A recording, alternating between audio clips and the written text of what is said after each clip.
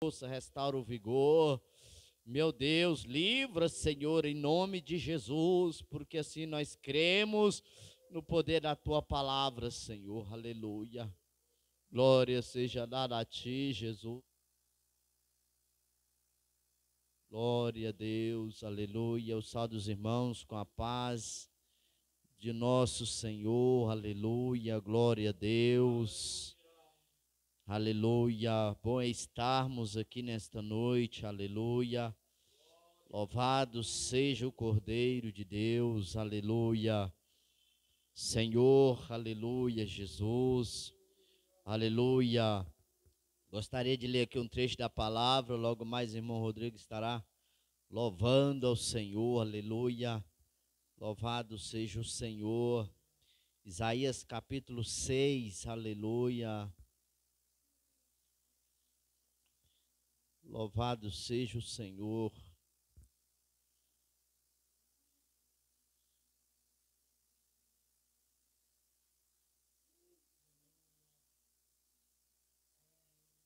Até o verso 7 diz assim: Isaías capítulo 6, a partir do verso 1 até o 7. No ano em que morreu Uzias, eu vi ao Senhor assentado sobre um alto e sublime trono, e o seu séquito encheu o templo. Os serafins estavam acima dele, cada um tinha seis asas, com duas cobriu o rosto, e com duas cobriam os pés, e com duas voavam. E clamavam uns para os outros, dizendo: Santo, Santo, Santo é o Senhor dos exércitos. Toda a terra está cheia da sua glória. E os umbrais das portas se moveram com a voz dos que clamavam. E a casa se encheu de fumaça. Então disse eu: Ai de mim que vou perecendo, porque eu sou o homem de lábios impuros e habito no meio de um povo de impuros lábios. E os meus olhos viram o Rei, o Senhor dos exércitos.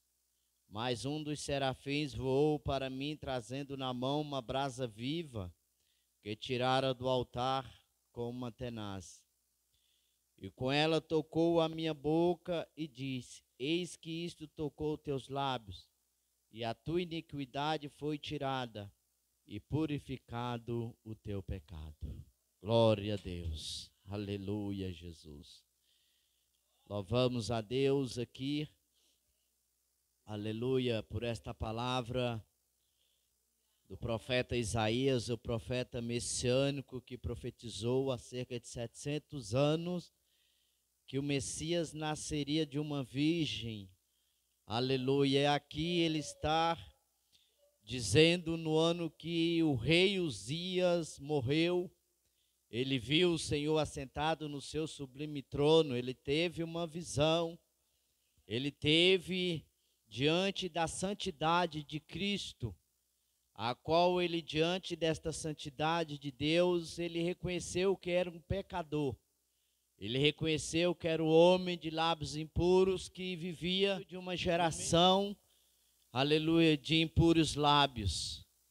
Então ele viu que ali, diante daquela visão, ele viu que um dos serafins voou, tirou uma brasa viva do altar e purificou seus lábios. Aleluia. E agora o seu pecado foi purificado. Aleluia. Louvado seja Deus. Ai de mim, aleluia. Ele dizendo. Mas quando o Senhor toca, irmãos, aleluia quando o Senhor purifica, quando o Senhor renova, quando o Senhor trabalha, nós venhamos a reconhecer o, agir de Deus, o trabalhar de Deus na nossa vida. E agora nós olhamos para trás e vimos que nós não somos mais os mesmos que nós éramos antes. Porque o Senhor tocou nos nossos lábios, aleluia, com a tua palavra, pastor. Aleluia. Nós não somos mais aquela velha criatura. Aleluia. Nós agora tivemos um encontro com o Senhor. Aleluia, o um encontro com o Salvador das nossas almas. Quando nós encontramos, aleluia, com Ele, assim como Zaqueu, louvado seja Deus, nós não somos mais os mesmos, irmão Rodrigo. Aleluia. Há uma mudança, tem que haver uma mudança. Porque Cristo, aleluia, é um novo nascimento, e novo nascimento tem que ver, tem que haver, aleluia, louvado seja o Cordeiro. Uma diferença quando encontramos com Cristo daquele que serve e aquele que não serve a Deus. Oramos o Senhor mais uma vez. Senhor Cristo, nesta noite nós te agradecemos uma vez mais, Senhor, por estarmos aqui nesta noite adorando o Senhor. Jesus, reconhecendo os nossos erros, nossas falhas, que aqui já fomos apresentados diante do teu altar, ao dobrarmos os nossos joelhos neste lugar, Senhor reconhecendo, meu Deus, a sua santidade, a sua pureza, a sua verdade, Senhor. Meu Deus, reconhecendo sim, Senhor, as nossas falhas sempre. Meu Deus, mas nós estamos diante da santidade, da pureza, da verdade de Cristo nesta noite, neste lugar, Senhor. E aqui o que vai ser apresentado é a Ti, Jesus, os louvores, Pai. Meu Deus, as oportunidades que assim será distribuída para a cada um, Senhor querido, falar aquilo que o Senhor colocar no coração. Meu Deus, em nome de Jesus, recebe os nossos sacrifícios, recebe a nossa adoração neste lugar, Senhor. Abre os céus, Senhor, em favor, Senhor, desta igreja. Deus toca, Senhor querido, aqueles que passam por estas ruas, Senhor, que ouve a tua palavra por meio dos louvores, enfim. Assim como uma vez, Senhor, eu fui tocado pelo teu Espírito, Senhor, neste mesmo trabalho, Senhor, de adoração ao Senhor neste lugar, Pai. Fala, meu Deus, em nome de Jesus. Pai, enche o nosso coração, Senhor querido, de gozo, a nossa alma, Senhor querido, diante da tua presença. Jesus, porque assim és, meu Deus querido, porque na tua presença até a tristeza tem que saltar de alegria, Senhor, diante de ti. Meu Deus, é assim, Pai, que nós vemos diante da tua presença.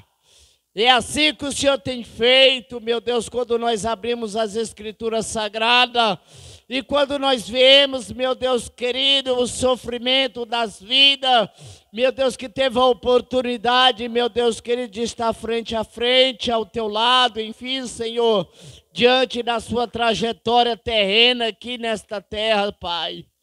Meu Deus, assim o Senhor tem feito coisas extraordinárias. Meu Deus, assim o Senhor tem realizado, Senhor querido, coisas, meu Deus, que tem revolucionado, Senhor, na vida do homem, Senhor querido. Oh, meu Deus querido, tem trazido, Senhor, uma revolução, Senhor, no calendário humano. Jesus antes e depois, Senhor querido, que ficou registrado os seus grandes feitos, Senhor, no meio, meu Deus, da humanidade. E aí está a história, meu Senhor querido, aleluia. Louvado seja o Senhor. Oh, Jesus, realizada por grandes feitos, Pai, em nome de Jesus. Muito obrigado, Senhor, muito obrigado. Aleluia, Jesus. Aleluia. Cumprimento os irmãos com a paz do Senhor. Amém. Amém. Vamos cantar o hino da harpa, número 526.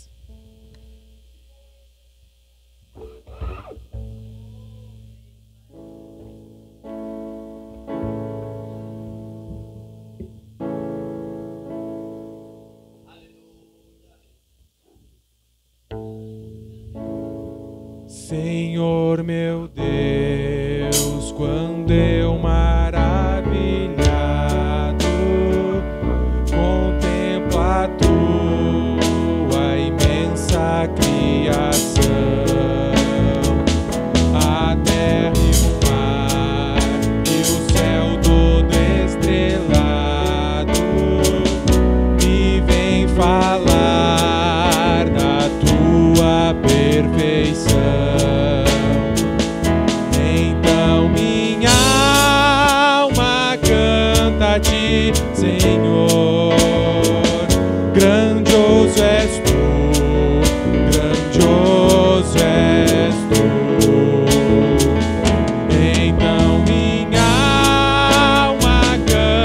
a ti, Senhor.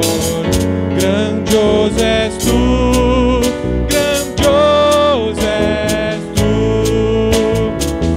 Quando as estrelas estão de mim distantes, vejo a brilhar com vívido esplendor. Relembro,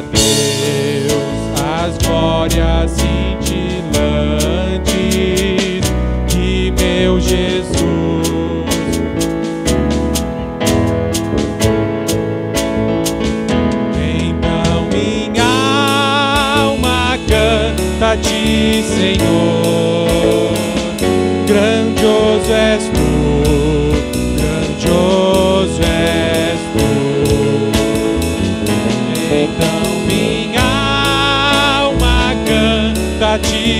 Senhor.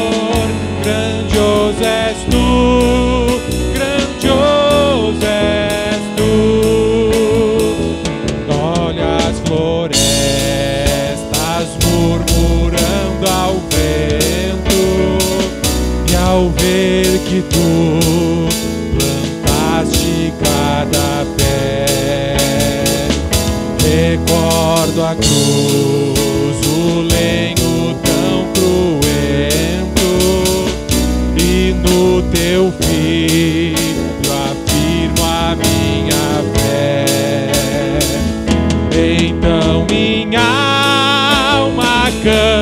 a ti, Senhor. Grandioso és tu, tu és grande, tu és grande, Senhor. Então minha alma canta a ti, Senhor. Grandioso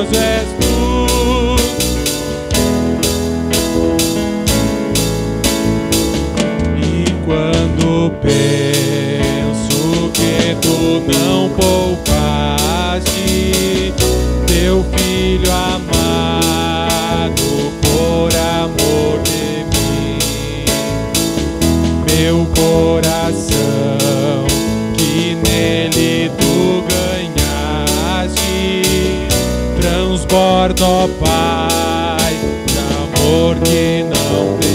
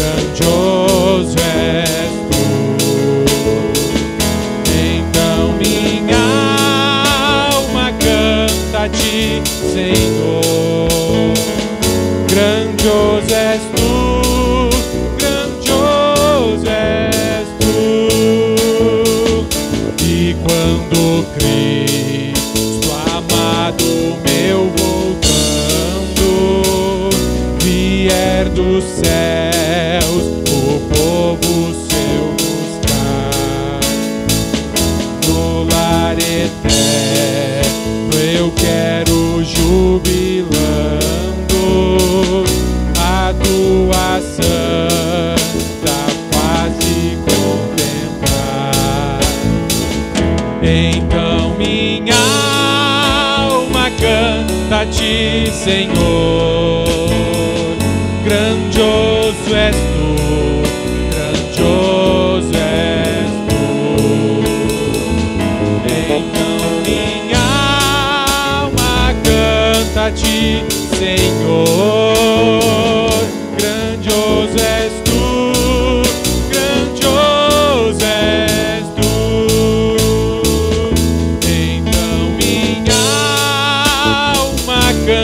Ti, Senhor.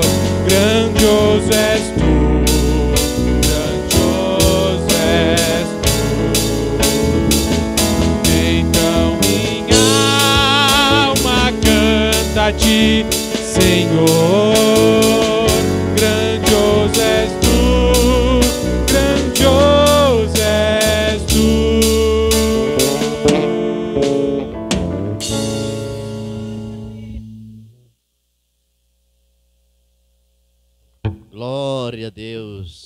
Grandioso és tu, Senhor. Aleluia. Lembro da minha conversão, que eu ouvia esse hino, aleluia, os irmãos cantando. E minha alma se alegrava na presença de Deus. Aleluia. Assim quanto hoje, aleluia, minha alma se, alegre, se alegra no Senhor. Porque nós sabemos que grandioso és o Senhor. E como nós estávamos cegos, aleluia, no pecado. Estava aqui quando eu estava sentado, irmão Rodrigo louvando, eu pensando aqui como o pecado cega. Nós vemos a consequência de Sansão, aleluia. Quando o pecado entrou na vida dele, aleluia. Nós vemos também o apóstolo, aleluia, Saulo, como estava tão cego de perseguir os nossos irmãos e achando que estava fazendo bem a Deus, aleluia. Nós vemos que foi necessário Deus abrir o poço ali para aquela mulher ver aleluia, que estava à sua frente, mas ela não conseguia ver porque estava cega, aleluia. E muitas das vezes nós nos deparamos diante de uma circunstância como essa, que é necessário Deus abrir os olhos, muitas das vezes através de um hino, através de uma palavra, através de um milagre, enfim. Deus continua abrindo as nossas visões, aleluia, assim como Deus abriu aleluia, na vida de Isaías, quando ele viu o rei morrer. E muitas das vezes é necessário, irmão Rodrigo, aleluia, o rei que muitas das vezes quer imperar, irmã Patrícia, dentro de nós mesmos, para que possa impedir o agir de Deus nas nossas vidas. Aleluia, mas quando este rei morre, nós vemos o Senhor assentado no seu sublime trono e nós possamos cantar. Quão grandioso é o Senhor, aleluia, irmã Jaciara, aleluia. Louvado seja Deus. Como é bom estar na presença de Deus. Aleluia. Glória a Deus. Amém. Só da igreja com a paz do Senhor. Gostaria de compartilhar uma palavra com os irmãos que segunda se encontra em 1 Reis. Eu gosto bastante dessa passagem. Me faz bastante refletir. 1 Reis, capítulo 21. É uma história bastante conhecida, todos nós conhecemos mas nós vamos meditar mais uma vez nela nessa noite, amém? Todos encontraram, irmãos? 1 Reis, capítulo 21. Do primeiro, nós vamos ler apenas três versículos, amém? Que diz assim: Sucedeu, pois, disto o seguinte: Nabote, o Jerelita, possuía uma vinha ao lado do palácio de palácio que Acabe, rei de Samaria, tinha em Jerezuel. E disse a Acabe a Nabote: Dá-me a tua vinha, para que me sirva de horta, pois está perto, ao lado da minha casa. Dar-te-ei por ela outra melhor, ou se for do teu agrado, dar-te-ei um dinheiro o que ela vale. Porém, Nabote disse a Acabe: Guarda-me o Senhor, que eu te dê a herança dos meus pais. Amém, irmãos? Serei bem rapidinha. É, estava eu meditando nessa passagem e gosto muito dela porque eu queria ter muito conhecido Nabote, um homem que, que eu creio que era muito honrado e temente ao Senhor. E a história fala de uma vinha que estava ali perto do rei, né, da, do palácio do rei Acabe. E todos nós conhecemos a história do rei Acabe, o seu pecado, né, a sua desobediência diante do Senhor. Mas eu queria gostar, gostaria só de frisar o que o Senhor colocou no meu coração sobre herança. Nós sabemos que nós estamos vivendo dias difíceis na terra. Nós estamos num século ao qual a herança nesse século não tem muito valor. Nós podemos observar e ver, irmãos, que quando se fala de herança, a morte a discussão, a contenda, irmão Rodrigo. Quando nós abrimos é, as nossas redes sociais e buscamos por herança, nós vemos muitas mortes. Irmão matou irmão por herança, pai matou filho, eu já vi nas redes sociais. E nós sabemos que isso não é de hoje, aconteceu há muito tempo atrás com Nabote. Mas nós trazemos para os nossos dias, espiritu nossos dias espirituais, a nossa vida espiritual, nós podemos observar que sobre nós impera uma herança. Uma herança dos nossos antepassados, uma herança que Cristo, muito antes de Cristo, os nossos antepassados, os profetas que vieram antes de nós, pagaram o preço para que nós tivéssemos herdado essa herança do Evangelho, essa herança de preço de sangue. E nós podemos observar que Nabote ele foi bem sucinto na sua resposta. Ele disse: é, Guarda-me o Senhor, que eu te dê a herança dos meus pais. Nós podemos observar, irmão, que a herança ela só é alcançada quando se há morte na vida material. Mas nós olhando, irmão Rodrigo, para a nossa vida espiritual e o mundo espiritual, não só há uma herança de morte sobre nós, porque Jesus ele morreu, mas ao terceiro dia ele ressuscitou. Então impera sobre nós uma herança, irmão, de vida. Uma herança daquele que morreu, mas lá não está escrito, eis aqui o jazir de Jesus. Não. Jesus morreu e ressuscitou para que nós viéssemos dar valor nessa herança. E eu, sentada e lendo essa, essa passagem, irmão Rodrigo, me fez uma pergunta: qual o valor que eu tenho dado à minha herança? Qual, irmão, o valor que eu tenho dado todos os dias, todas as horas, todos os segundos à minha herança? Porque muitos irmãos dão valor a muitas coisas materiais, ao qual diz em Mateus que a traça né, vai corroer, né, que aonde tiver o seu tesouro, aí está seu coração. Mas aonde está a nossa herança? Aonde está o nosso coração para nós depositarmos esse valor a qual Nabote diz: guardar-me-te-á, que eu te dê a herança dos meus pais? Irmãos, e nós sabemos que todos os dias há um peso sobre nós, sobre essa herança. O peso de nós, irmão, carregarmos esse valor que Nabote carregava da sua herança dos seus pais. Nós podemos observar que era uma vinha, mas o Satanás é tão sagaz, irmão, que queria transformar a vinha em horta. Nós podemos observar e trazendo o valor real, irmão Rodrigo, para uma vinha é mais valor do que fazer uma horta. Mas o inimigo, ele vem, irmão, com essa sutileza, né, com esse sapatinho de algodão, como a palavra do Senhor nos alerta todos os dias, irmão, que nós devemos nos acautelar para que a gente não venha nos cair no engano do inimigo e trocar nossa herança por coisas banais. Porque muitas das vezes, irmão, nós, nós sem pensar e sem valorizar e sem ter dimensão todos os dias dessa herança, nós trocamos Jesus. Muitos trocaram, irmão Rodrigo, muitos já trocaram. Muitos irmãos já não lembram mais que tinha sobre ele uma grande herança. Uma grande, um grande, irmão, um, um, ouro tão grande que nós devemos valorizar, irmão. E todos os dias, irmãos, irmão Rodrigo, todos os dias, irmão Wellington, o inimigo oferece coisas, irmão, para nós trocarmos essa herança. O inimigo, como Acabe estava ali de olho na, na vinha de Nabote, o inimigo também está, irmão, de olho na nossa herança. O inimigo, todos os dias, irmão, ele vai preparar um prato, ele vai nos oferecer algo para que a gente venha trocar essa herança. Mas ainda, irmãos, como nós conhecemos a passagem de Nabote, ainda, irmão, que levante calúnia contra nós. Ainda que levante falsos testemunhas, irmão, que sejam apedrejados como Nabote foi ali, ele foi apedrejado. Foi morto, né, por falsas testemunhas que a, que a Jezabel levantou. Olha, irmão, o inimigo é tão sujo que ela falou: Olha, não, fica calmo. Fica tranquilo, fica tranquilo. Por que tu está angustiado do teu corpo? Pode deixar que eu vou resolver.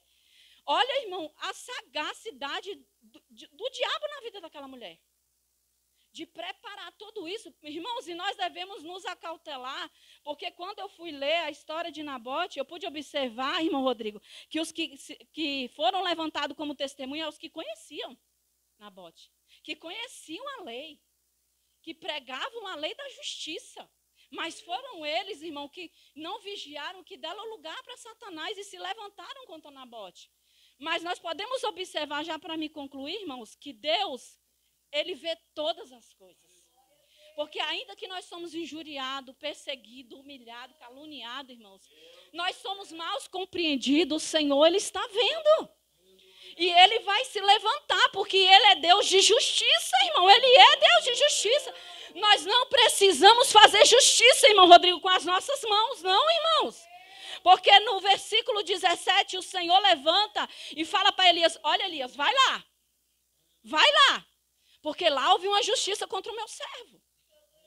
E Elias se levanta, irmão, e vai ao encontro de, de Acabe e diz para ele assim: Assim, eis que esta vinha é de Nabote, onde desceu para tomar posse dela. E disse assim: ó, E disse o Senhor: Ainda por cima tomaste a herança?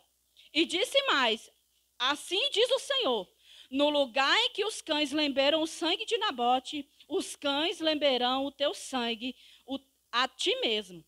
Então, irmão, nada passa desapercebido diante do Senhor. Às vezes nós sofremos injustiça, eu já sofri. Eu creio que a maioria aqui já sofreu. E nós falamos, Senhor, mas eu sou tua serva. Né? A gente fala, Senhor, mas por quê? Irmãos, mas o Senhor, Ele sabe. O que nós não podemos esquecer, irmão, é o valor da nossa herança, de quem ela, nós temos herdado. E nós vamos contemplar, irmão, e maravilhar naquele grande dia quando nós entrarmos pelas portas, os portões celestiais, e vir dizer assim: Senhor, valeu a pena. Valeu a pena, irmão, porque eu creio que Nabote, irmão, está lá. Eu creio, irmão Rodrigo, que ele está lá no seio de Abraão. E naquele grande dia, irmão, nós vamos contemplar e dizer: olha, valeu a pena. Mas Nabote, irmão, ele não fraquejou. Ele poderia, como era o rei, ele poderia ter dito, né, pastor? Não, eu te vendo para agradar o rei. Porque muitas das vezes, irmão, nosso eu quer agradar o homem. Mas Nabote falou: não. Guardar-me-ei de te dar a herança dos meus pais.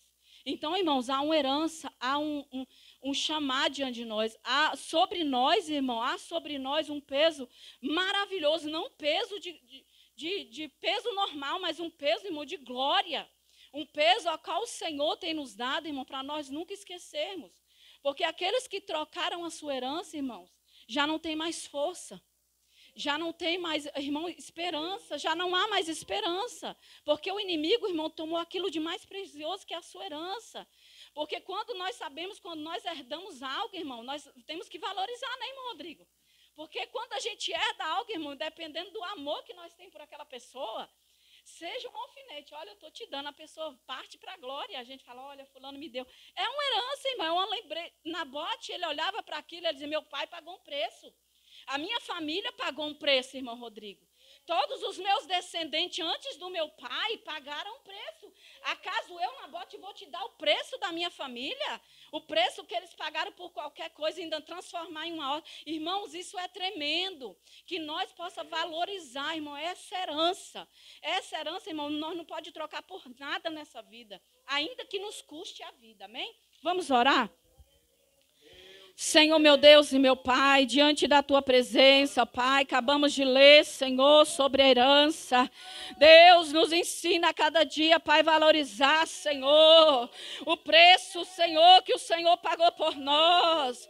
Ó Senhor, que o apóstolo Paulo pagou, ó Deus. Ó Senhor, que Moisés, ó Deus, que todos eles, ó Pai, que sofreram, que foram apredejados, ó Deus, que foram, Senhor, Pai, colocados em praça pública pública, ó Pai. E nós ainda estamos, ó Pai, alcançando essa semente. Deus, tem misericórdia, nos ajuda a valorizar, Senhor. Nos ajuda, Senhor, a ser fiel ao que nós te pedimos e te agradecemos. Em nome de Jesus. Glória a Deus. Irmã Pamela louvando o Senhor.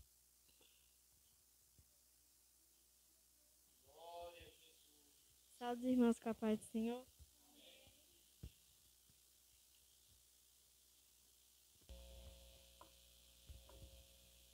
Recebi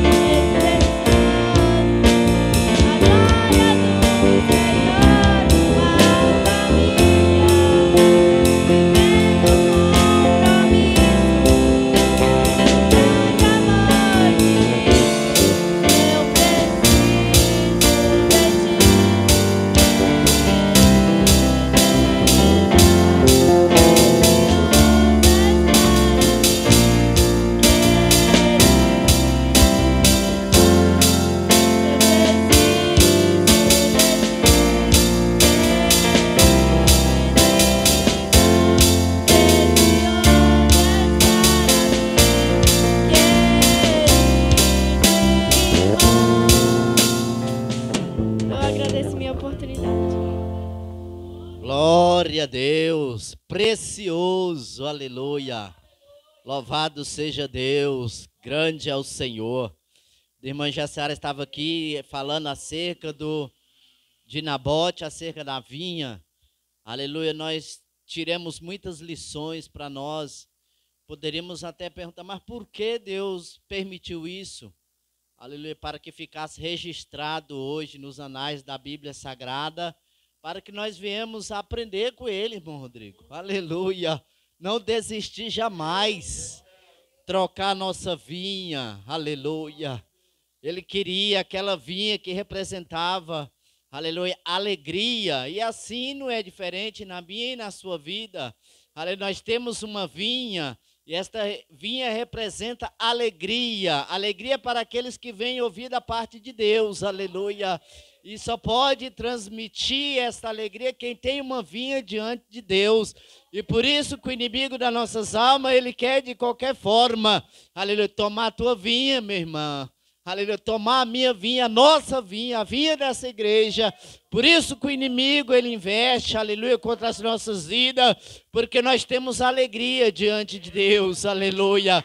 Nós temos uma herança, e esta herança não pode ser como fez aquele jovem, aquele aleluia, que chegou diante do teu pai e disse: Olha, pai, eu quero a minha vinha, aleluia, ou seja, eu quero a minha herança, aleluia, não quero mais ficar, aleluia, na sua casa, aleluia, eu vou para outros lugares, conhecer outras novidades de vida, assim tinha ele, mas quando acabou todos os seus recursos ali, aleluia, ele reconheceu, aleluia, que na casa do pai tinha alegria, tinha fartura, ele estava ali perecendo, aleluia, louvado seja o nome do Senhor. Vamos ouvir agora a irmã Débora, aleluia. Louvado seja Deus. Logo mais a irmã Silvana estará louvando o Senhor. Cumprimento a igreja com a paz do Senhor. Abram vossas Bíblias em Ezequiel.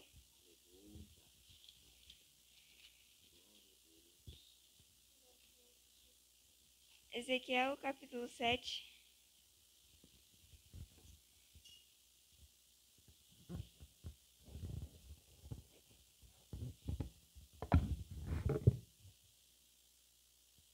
Ezequiel 7 e 19.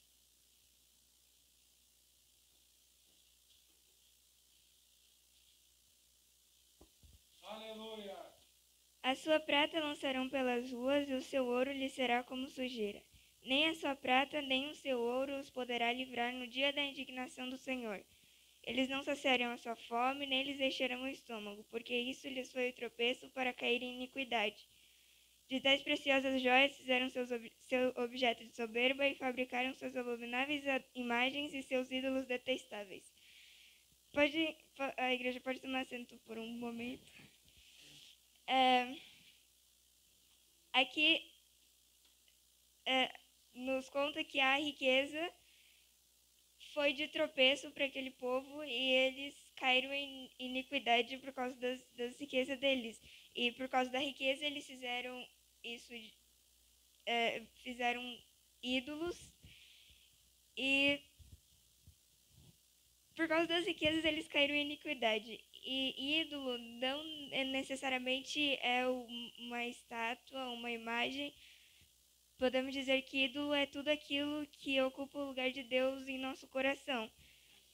É, então, aqui eles eles usaram as riquezas dele como soberba, eles se acharam é, superiores ou não sei, e por, por pouca coisa. E, e, eles caíram em iniquidade por causa da, das riquezas deles. E o, os seus corações estavam longe do Senhor, porque eles começaram a a sair da presença do Senhor. Então, o Senhor, a, a indignação do Senhor foi muito grande e, como estava dizendo aqui, o Senhor iria fazer com que nem a prata e nem o ouro que eles tinham poderia ajudar eles no dia da indignação do Senhor. É, as pessoas gastam o seu dinheiro com coisas que vão estar no lugar de Deus, com, com seus ídolos, e as pessoas acabam por sendo avarentos e se ensober- ensoberbecendo por causa de suas riquezas. E só que o Senhor, com todo o seu poder, ele pode fazer com que aquilo, é, toda a riqueza dessas pessoas não seja nada, por exemplo, colocando uma doença incurável. Aquilo não, o dinheiro das pessoas não vão ajudar. Só que a igreja do Senhor, a gente sabe que todas essas coisas são passageiras. E nós tememos ao Senhor e queremos agradá-lo. E como está lá em Mateus 6 e versículo 24, e ninguém pode servir a dois senhores, porque há de aborrecer-se de um e amar o outro, ou se devotará a um e desprezará o outro. Não podeis servir a Deus e as riquezas. É, não, não, não podemos colocar as riquezas acima de Deus. E como nós queremos agradá-lo ao Senhor, temos que mostrar isso a Ele, que as riquezas não não tá no lugar do Senhor.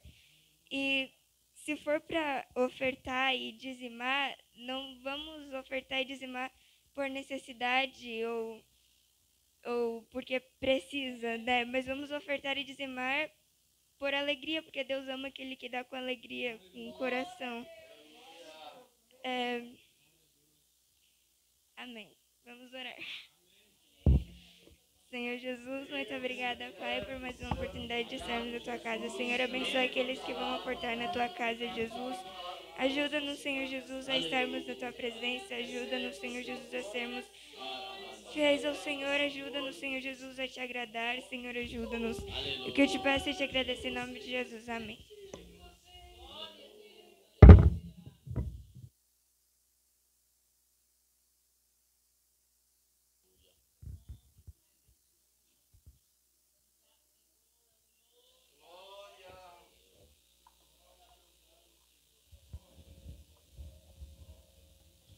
Cumprimento a Senhor. Precisar da ajuda do coral para cantar, que eu tô com a garganta bem ruim hoje. Quando todos os meus medos já não cabem mais em mim, quando o céu está de bronze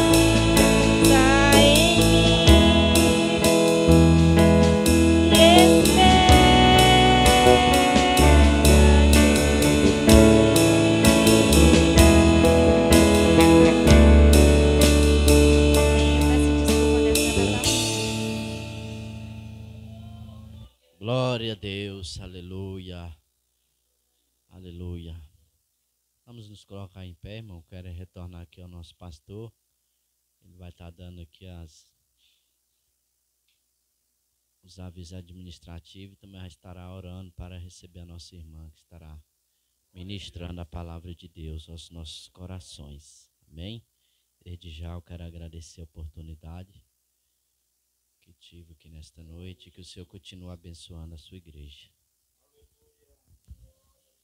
Glória a Jesus, aleluia.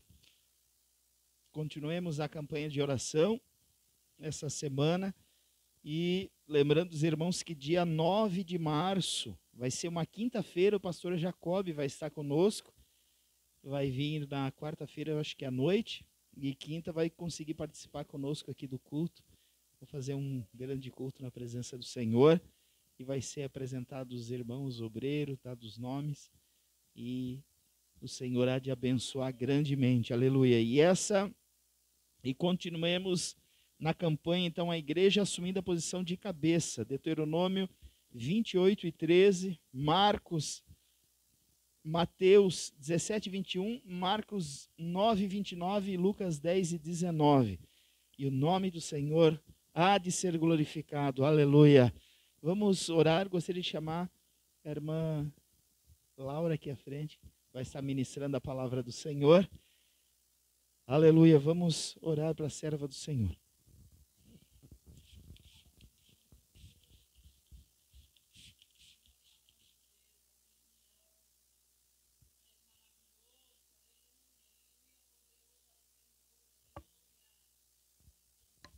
Oremos ao Senhor. Deus maravilhoso, Pai eterno, somos gratos a Ti, Senhor, esses momentos que passamos em Tua presença. E nesse momento, ó Pai, a Tua filha estará ministrando a Tua palavra, Senhor. Fala aos nossos corações, usa, Senhor, tudo quanto o Senhor já tem, ó Pai, colocado em seu coração. Em nome do Senhor nós te pedimos, ó Pai, e te agradecemos. Amém. Aproveitando que já estamos de pé, saudar os irmãos com a paz do Senhor. Vamos abrir nossas Bíblias.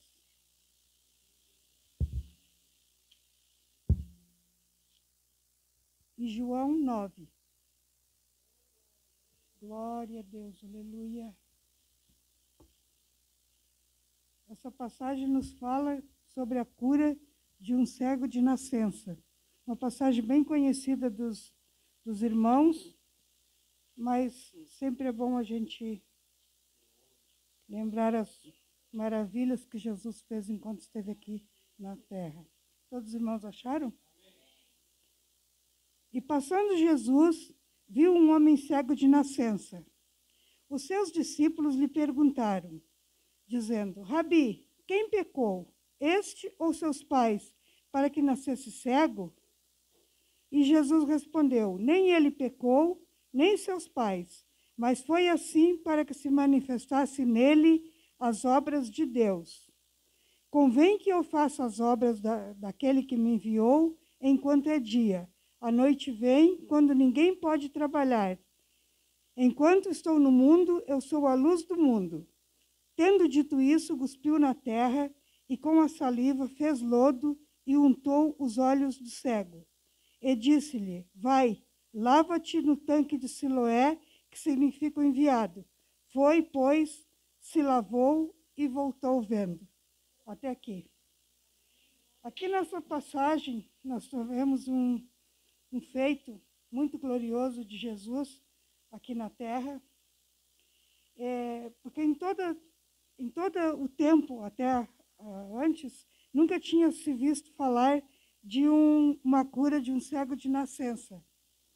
E a Bíblia fala em outras curas que Jesus fez de, de cegos. Lá em Mateus 9, 27, foram duas curas que ele tocou os olhos. Mateus 12, 22, é um endemoniado cego e mudo. É, Mateus 20, 30, dois cegos de Jericó também com toque. O cego Bartimeu.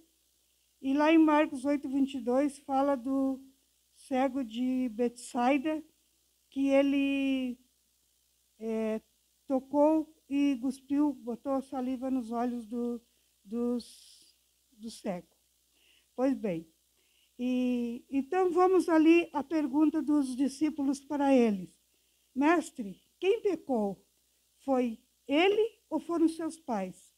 Porque antigamente, na, na, lá no Oriente, eles acreditavam que quem tinha uma doença era unicamente por pecado, era culpa do pecado. Então, assim, alguém tinha pecado. Ou os pais pecaram, ou ele mesmo tinha pecado. Mas como que ele ia pecar se ele era um cego de nascença? É que eles tinham uma crença muito engraçada. Eles acreditavam que uma criança podia pecar ainda no ventre da mãe. Eles se baseavam isso no, como o caso de Isaú e Jacó, que houve a guerra entre os dois, né, no, no, no seio de Rebeca. Ah, Rebeca, né? É, e, e ela foi perguntar para Deus por que estava havendo aquela guerra no seio dela e no ventre dela. E Deus disse que ali haveriam duas nações, que eles estavam. E aí havia uma divisão entre duas nações. E o maior ia servir ao menor. A segunda, eles acreditavam em destino. Deus predestinou que este aqui vai nascer para sofrer. É, era uma crença deles, então. E eles, ah, ocup, eles acreditavam também em reencarnação, em vidas passadas. Então, assim, é, a pessoa foi ruim numa vida, aí nessa vida vem para pagar o que, é, que ela fez de errado no, na, outra, na outra vida. Então, assim, até entre os, os fariseus, essa crença era era uma coisa, uma coisa, uma verdade para eles, né? E o que que Jesus disse? Nem Jesus não disse assim que ele não, não era pecador e nem que os pais não eram pecadores.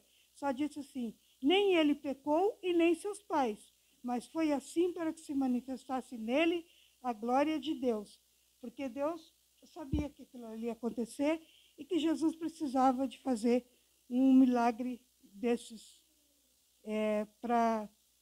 E por, e por que, que Jesus usou a saliva e a terra? Naquela época, é, eles acreditavam que a saliva, como fosse um centro da vida, um, um, uma seiva de vida, alguma coisa, né? e, que, e que pudesse passar a minha para a senhora. A saliva pode passar para a senhora o, o centro da vida, né, da minha vida. E também a argila, a terra, era usado para besuntar os olhos da, da, das pessoas. E a argila até hoje ainda é usado, né? Muita, muita gente fala tal da argila branca. É, os médicos, ah, cirurgiões, cirurgiões plásticos, eles usam também como curativo, é, como cicatrizante. A argila é muito cicatrizante. E Jesus falou também assim: convém que eu faça as obras daquele que me enviou enquanto é dia. A noite vem quando ninguém mais pode trabalhar. Ele estava se referindo assim à luz do sol. Se não há sol, se não há luz, não há vida. E durante o dia há sol, durante o dia há vida. E de noite é as trevas, a escuridão, não há vida. E ele também estava se referindo à morte dele que estava, que estava próxima, né? que ele tinha que trabalhar, e assim como nós também, nós temos que trabalhar tudo que vier às nossas mãos para fazer, nós temos que fazer com alegria. É, porque a, a, noite vem, né? a morte vem, e aí não há mais, não há mais obra nenhuma para fazer. E aí o que aconteceu? Jesus cuspiu, não, eu já ouvi pregador dizendo que Jesus cuspiu para fazer pouco dele. Mas não, é que Jesus tinha que usar alguma coisa física para acrescentar a fé do povo e a fé deste, deste homem também. E, e o bom é que esse homem, em nenhum momento, ele duvidou de Jesus. Jesus disse, vai e te lava no tanque de Siloé. E ele foi, se lavou e ele voltou vendo. Em nenhum momento ele perguntou, mas por que, que eu tenho que ir? Né? Então ele foi, ele creu, Jesus falou, ele creu, ele foi fez. e conseguiu o milagre dele. As águas de Siloé, elas é, se acreditava que elas eram, tinham efeito curativo. Então, é, que descia do, do, do, tanque de Guion, de um lado para cá e tal. E então, assim, por isso que também Jesus mandou ele se lavar na, nessas águas que tinham o, já tinham é, efeitos curativos, né? E quando ele voltou, os vizinhos, aqueles que andavam sempre ali na, na sinagoga, é, os vizinhos e aqueles que antes tinham visto que ele era cego diziam: Não é este aquele que se assentava e mendigava? Uns diziam: É este. E outros diziam: Não, parece com ele. E ele dizia: Eu sou. Ele não tinha nenhum problema de identidade. Problema de identidade. Ele tinha convicção de quem ele era. É, é, parece ele, eu acho que ele, né? Ele dizia: Eu sou, sou eu. E diziam-lhe, pois, como que te abriram os olhos? E ele respondeu e disse-lhes: O homem chamado Jesus fez lodo, untou-me os olhos e disse-me: Vai ao tanque de Siloé e lava-te. Então eu fui, lavei-me e vi. Ele estava falando da experiência dele. Ele teve uma experiência com Jesus e ele estava falando da experiência dele. Ninguém estava dizendo nada para ele, era ele que estava contando. Então disseram-lhe, pois, onde está ele? E ele respondeu, eu não sei. Realmente ele não sabia onde que Jesus estava, tá, porque Jesus fez o milagre e não ficou ali esperando para receber, oh, beleza, os aplausos da multidão, né? Jesus deu, fez um milagre e, e saiu, porque ele não queria glória para ele mesmo. E realmente ele não sabia, porque ninguém sabia para onde que Jesus tinha, tinha ido. Levaram, pois, aos fariseus o que dantes era cego. Aí é que é muito importante. Os fariseus eram os sabidões da época, né? os sábios, eles sabiam tudo. E era sábado quando Jesus fez o lodo e abriu-lhe os olhos. Tomaram, pois, também os fariseus a perguntar-lhe como vira. E ele lhe disse: Pôs-me lodo sobre os olhos, lavei-me e vejo. Ele não mudava uma vírgula daquilo que ele tinha, que ele tinha dito. Era, era sim, sim, não, não. Então alguns dos fariseus diziam: Este homem não é de Deus, pois não guarda o sábado. Diziam outros: Como pode um homem pecador fazer tais sinais? E havia disenção entre eles. Inclusive, é, os próprios sábios entre eles começaram a, a discutir, porque uns diziam, não, esse é, é um demônio, ele né, já tinha dito antes né, que ele expulsava em nome de Beuzebu. É, então, assim, que ele não é de Deus, porque ele não, não, não pode fazer, não podia, ah, não podia tirar, não podia curar os olhos de ninguém aos sábados uma incongruência, né? Deixar uma pessoa sofrendo a vida toda e só porque era sábado Jesus não podia curar ele, justamente por ser por ser sábado, né? E a dureza de coração deles, eles diziam assim, ó, que se fosse uma doença que já fosse crônica, podia esperar. Um dia mais, um dia menos não ia fazer fazer diferença. Mas um dia mais, para quem já tinha sofrido a vida toda sem enxergar nada, faz muita diferença, né, irmãos? Imagina, glória a Deus. Tomaram, pois, a dizer ao cego: Tu que dizes daquele que te abriu os olhos? E ele respondeu: Que é profeta. Ele, provavelmente, como ele ficava mendigando na porta do templo, ele ficava escutando a leitura das Escrituras. E, e quando ele proferiu isso, que é profeta, ele estava defendendo Jesus, porque os profetas eles não precisavam guardar as leis sabáticas. Os profetas podiam realizar é, qualquer coisa, inclusive no, no, sábado. Os judeus, porém, eles não creram que, não tivesse, que ele tivesse sido cego e que agora visse, enquanto não chamaram os pais do que ele que agora via. E perguntaram-lhe, dizendo: É este vosso filho, que vos dizeis ter nascido cego? Como, pois, vê agora? Eles estavam tão tão ansiosos que eles queriam terminar Jesus de qualquer maneira, é, que eles se atabalhoavam em perguntas, né? Faziam três perguntas ao mesmo tempo. É esse é teu filho? Como que ele fez agora? Como dizeis que nascido cego? Como pois que ele vê? Agora, os pais deles que disseram? E disseram-lhe, sabemos que este é o nosso filho que nasceu cego. É uma, uma verdade que eles não podiam negar. Mas como vê agora, nós não sabemos. Ou quem lhe tem aberto os olhos, não sabemos. Tem idade, pergunta, perguntai-lo a ele, a ele mesmo, e ele falará por si mesmo. Olha só, os pais, ao invés de ficarem agradecidos a Jesus por ter aberto os olhos do filho deles, que tinha nascido cego, é, negaram. É, negaram e disse, olha, só podemos dizer que é o nosso filho que ele era cego. Agora, quem curou, como curou, nós não sabemos. E por que, que os pais não se comprometeram? Porque eles não, não tiveram amor pelo filho.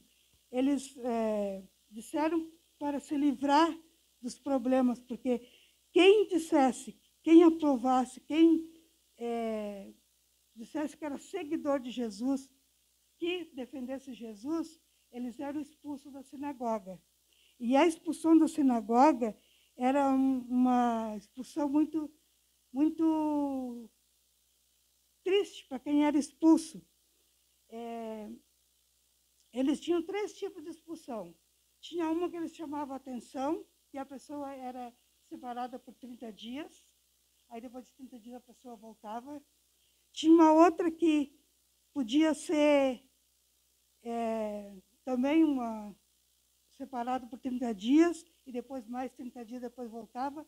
Ou tinha uma que era a expulsão total. E quem fosse expulso dessa maneira, inclusive às vezes até com trombetas, eles ah, ah, alardeavam na rua, né, que ah, fulano fez isso, fez aquilo, aquilo é, é, com, com trombetas e tal, e a pessoa não podia participar, não podia nem chegar a dois metros de distância das outras pessoas. Não, se tivesse comércio, não podia mais vender. Enfim, a pessoa era era um grão de areia, não, não, não era nada. Eles, é, inclusive, eles injuriavam as pessoas essas injúrias, eu até eu trouxe aqui para falar para os irmãos, vou pedir licença para abrir aqui meu, meu celular, o tipo de injúria que eles faziam. As maldições que eles lançavam sobre, sobre os irmãos, sobre os excluídos.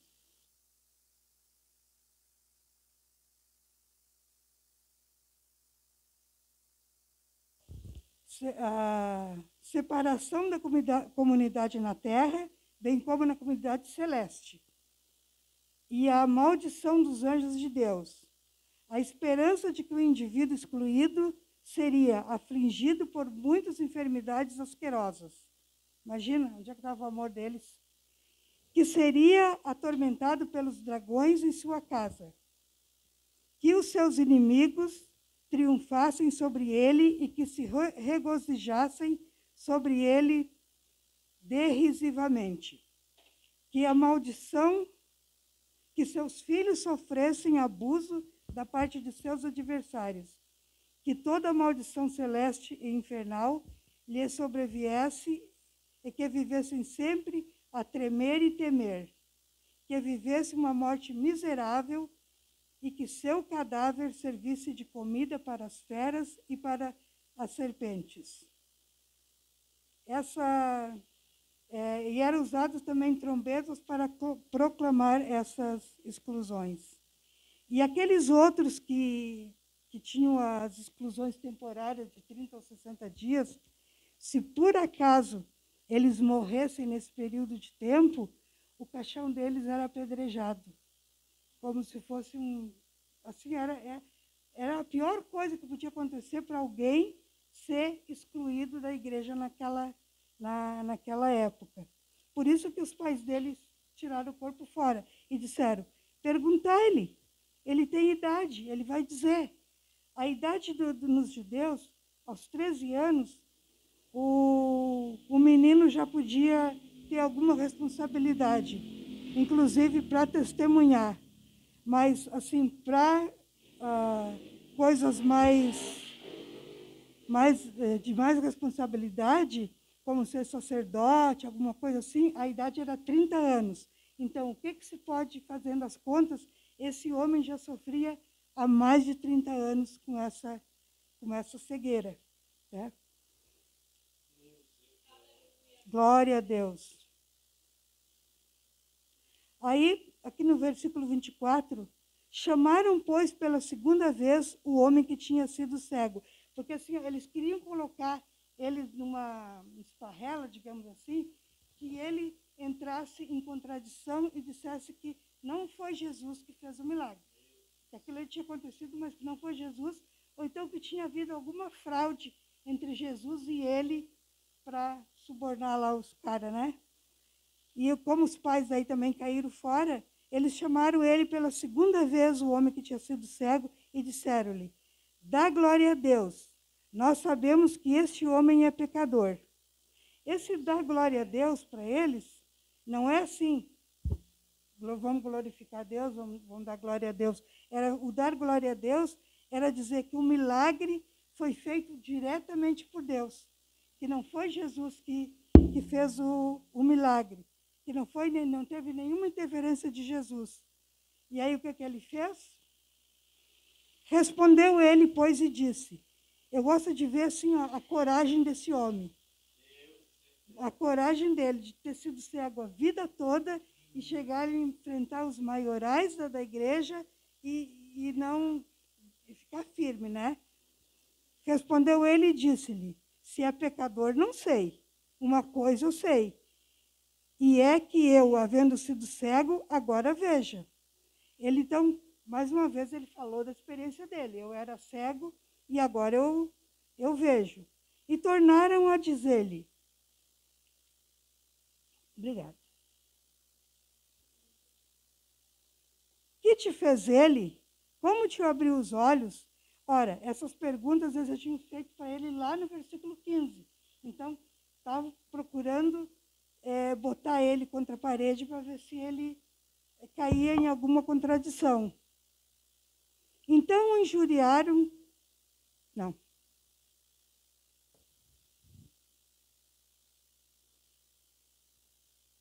E como que eles abriam os olhos? Eles usaram de malícia, né, para ver se botava ele contra a parede. Respondeu-lhes já vou-lo disse, e não ouviste? Para que o quereis tornar a ouvir? Quereis vós, porventura, fazer-vos também seus discípulos? Isso para eles era a maior injúria, dizer que eles eram os discípulos de, de Jesus. E, e talvez ele tenha falado isso é, porque Nicodemos também fazia parte desse sinédrio aqui. E, e Nicodemos tinha ido procurar Jesus na calada da noite para saber né, como que ele seria, seria salvo. Foi naquela da noite para ninguém saber. Então, provavelmente, ele achou que, o, que ele fosse discípulo de Jesus. Então o injuriaram e disseram: Discípulo dele seja tu. Nós, porém, somos discípulos de Moisés. Como é que eles podiam ser discípulos de Moisés se eles não eram discípulos de Cristo? Eles pegavam as leis mosaicas e, e eles colocavam coisas ali que eles iam acrescentando conforme eles achavam, eles interpretavam a lei conforme eles achavam, mas não tinha nenhuma, nenhuma orientação divina nessas leis que eles, que eles tinham. Eles continuam.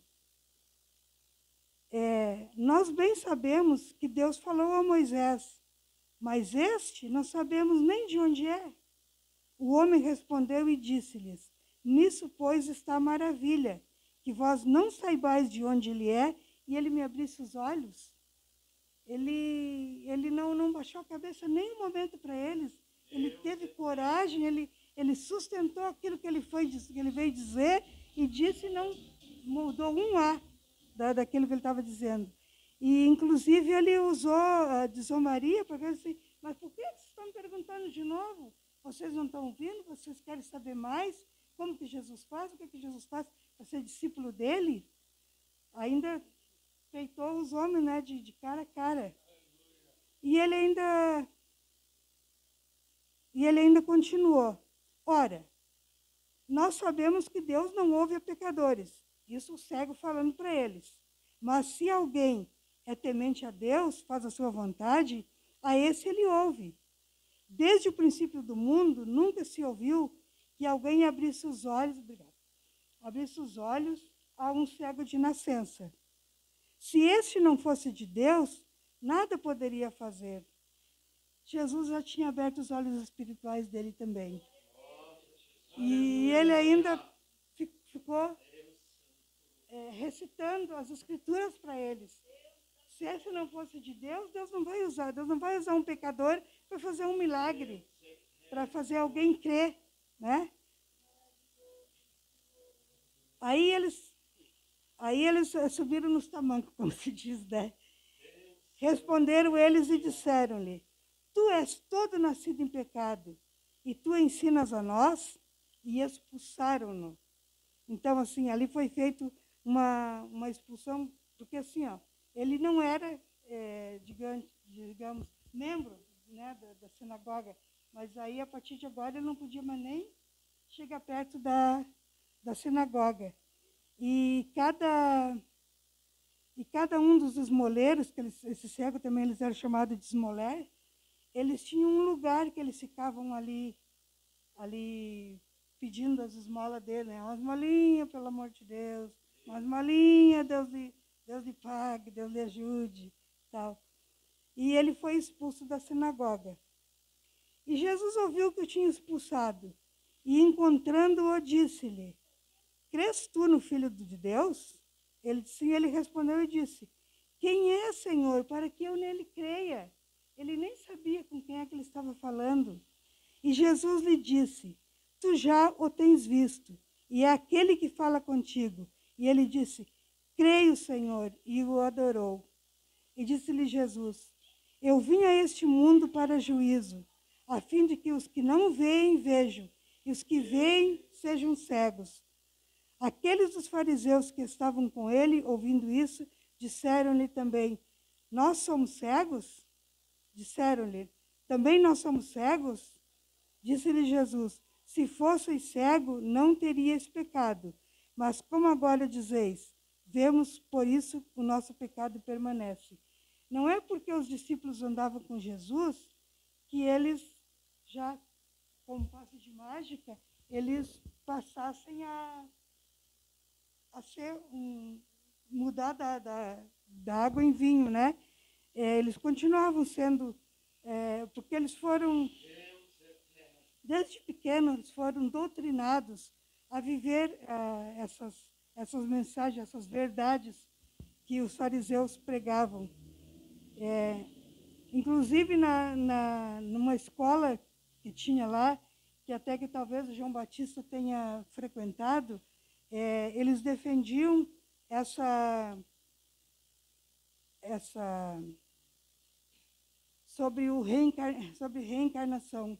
Eles acreditavam, inclusive assim, até ficaram julgando é, se, se, se Jesus e João Batista seriam a encarnação de Elias, ou seria Jeremias, ou seria de um outro profeta, que isso para eles era coisa mais natural do mundo.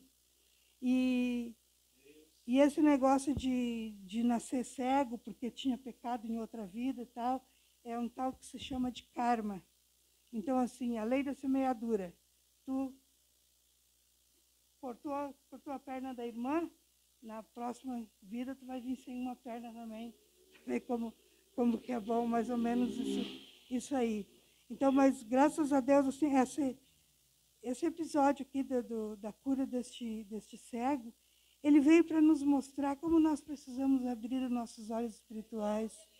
Nós precisamos estar sempre prontos a ouvir, sempre prontos a defender Cristo em todos os momentos da, da nossa, da nossa vida e, e ser como ele. Nós temos que ter intrepidez, nós, temos, nós temos que saber aquilo que nós vamos dizer.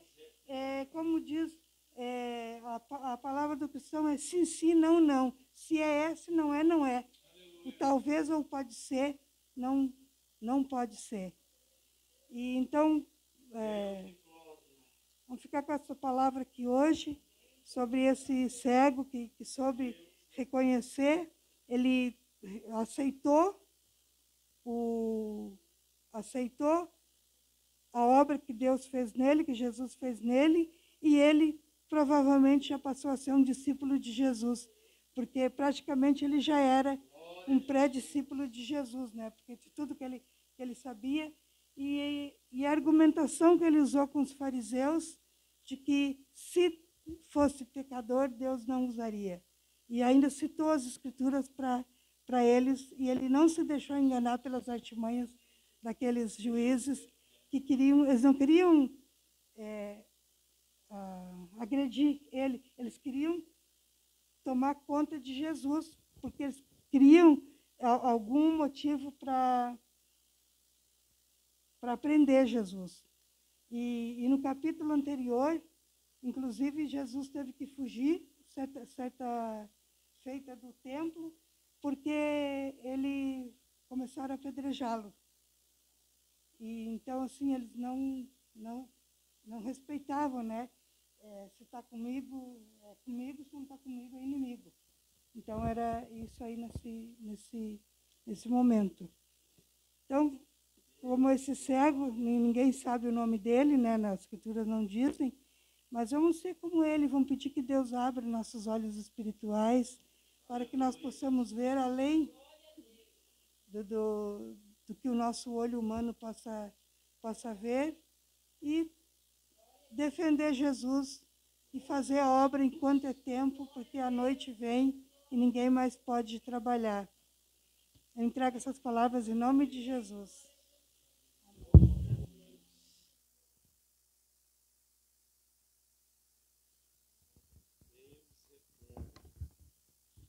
Aleluia, glória a Jesus. O que me.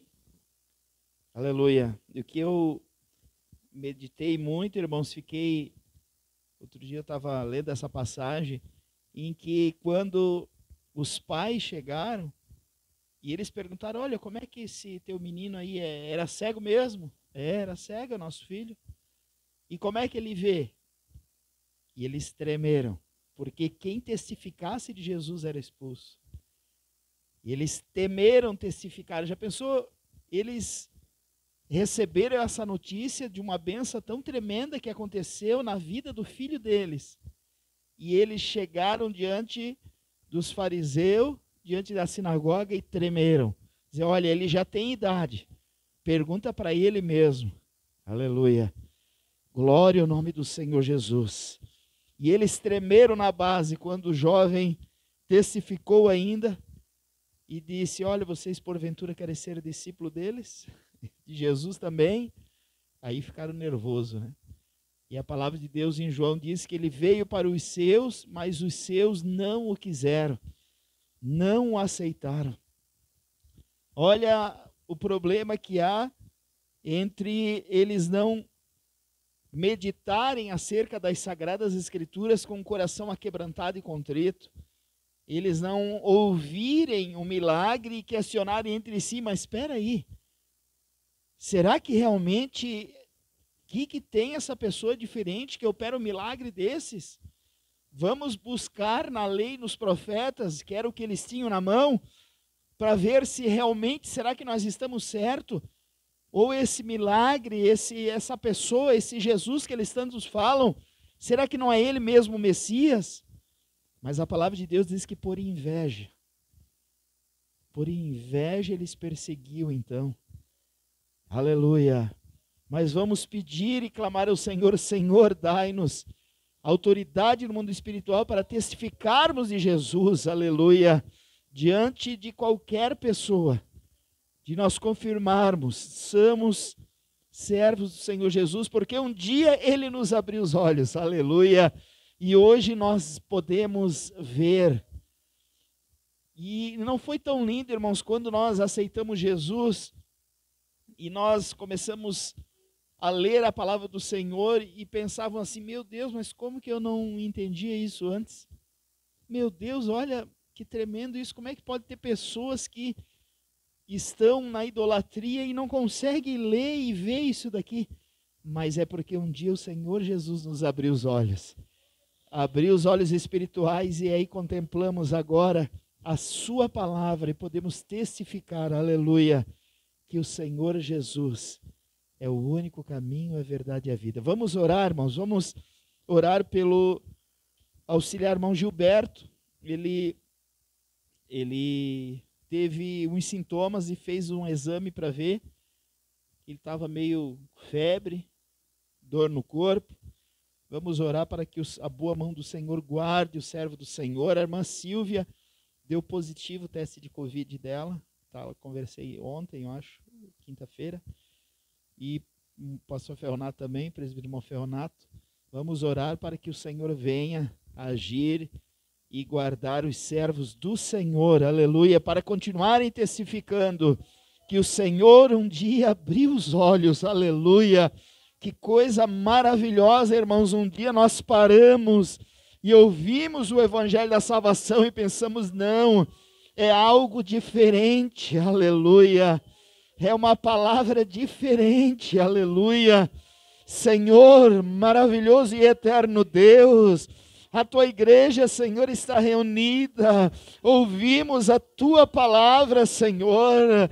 Milagre, Senhor, tu operava e tu há de operar ainda hoje e ainda no amanhã, aleluia, porque tu és ontem, hoje e eternamente. Aleluia! Intercedemos, Senhor, pela vida dos teus filhos, ó Pai. Guarda, ó Deus, presbítero Ferronato, Senhor, lá em Chapecó, irmã Silvia, Senhor. Guarda, Senhor, irmão Paulo Gilberto, Senhor. Revigora as forças da vitória, Senhor. Abençoa, Senhor, cada um dos teus filhos guardando, Senhor, livrando, Senhor. Nós repreendemos, Senhor, toda obra do mal, ó Deus, toda ação contrária, Jesus Ajuda, Senhor, e fortalece a irmã Ivanilda, Senhor.